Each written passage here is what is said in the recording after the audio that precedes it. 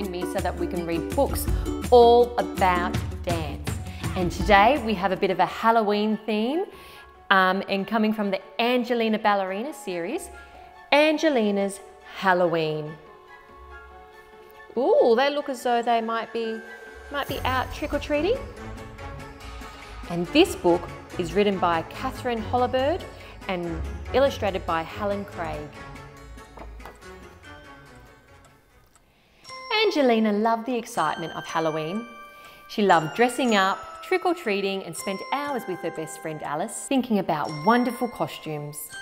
At last they decided to be dancing fireflies and drew beautiful pictures of wings and tiaras. Angelina's little sister Polly wanted to join them. Look at this, she kept saying, showing them her funny scribbles. Mrs. Mouseling helped them make the delicate costumes, and when the wings and tiaras were done, Angelina and Alice practiced flying around and around the cottage. Polly tried to fly too, but kept crashing into Angelina's wings. Why do you always have to copy me? Angelina stamped her foot. Polly hung her head. I want wings, she cried. You're too little, explained Angelina. But you could be something really scary.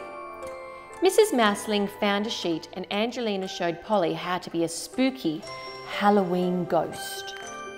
On Halloween evening, Angelina and her friends played scary games and Mrs. Mouseling made them a bubbling witch's brew and delicious goblin biscuits. When Mr. Mouseling came home with an enormous pumpkin, the two fireflies and the little ghost gave him quite a fright. After the party, Angelina and her friends set off together with their trick-or-treat bags.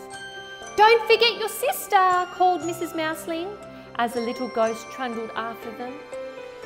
They raced each other to the general store and sang a song about spiders and bats to Mrs. Thimble, who had a great collection of Halloween sweets. Then they went to scare Miss Lily, the ballet teacher, who waved her wand and gave them each a lollipop.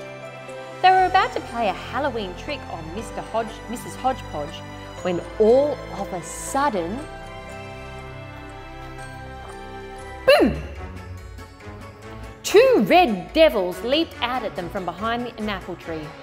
Angelina wasn't fooled and quickly recognised Spike and Sammy. We're not scared of you, she laughed. I'll bet you're scared of that house, teased Spike, pointing up the lane.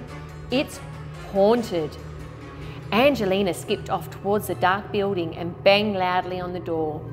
Trick or treat, she called. There was no answer. Let's go inside, whispered Spike and Sammy. Inside the house was strange and shadowy.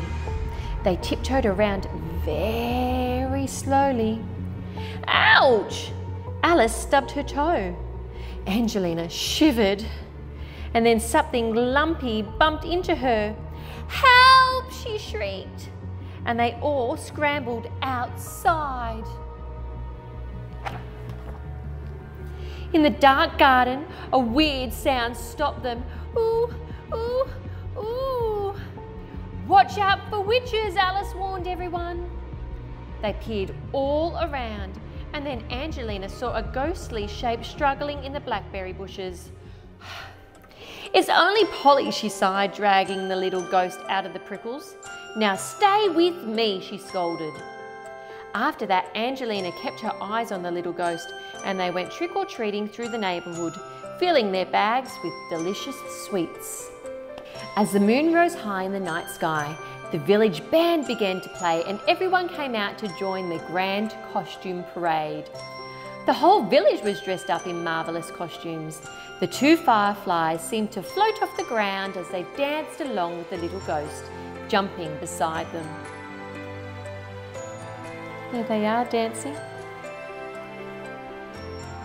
And I think that's Miss Lily, the ballet teacher. At the end of the evening, Miss Lily proudly handed out prizes. The two fireflies and the ghost win a special award for Halloween dancing, she announced.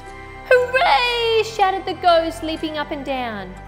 But you're Henry, gasped Angelina. Where's Polly? Angelina dashed up the street to Mrs. Thimble's general store, but all the village shops were closed. She ran to Mrs. Hodgepodge's cottage, but nobody was home.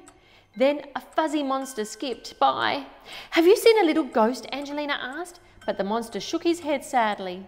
Angelina raced up and down through all the streets of the village until at last she reached the haunted house where she found Polly sitting on the steps sharing the goodies from her trick or treat bag with the little friends dressed as wizards. My tummy feels funny, Polly whimpered. Angelina shook her head.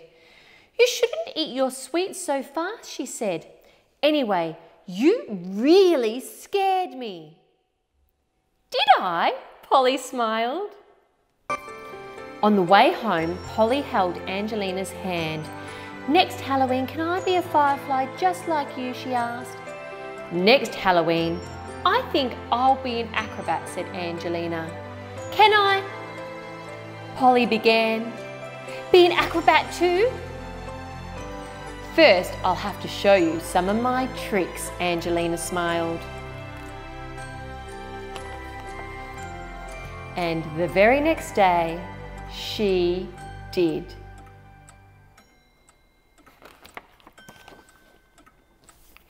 Do you like dancing and doing acrobatic tricks?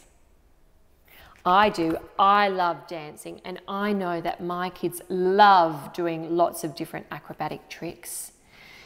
Well, what a fun story about Halloween.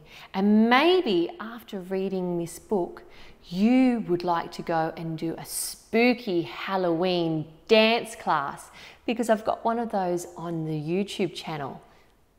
That could be a lot of fun. I think we dance as a ghost and as a black cat. Some fun Halloween dancing there. Well, I can't wait till the next story time. And until then, I'll see you. Bye. Have fun reading and dancing.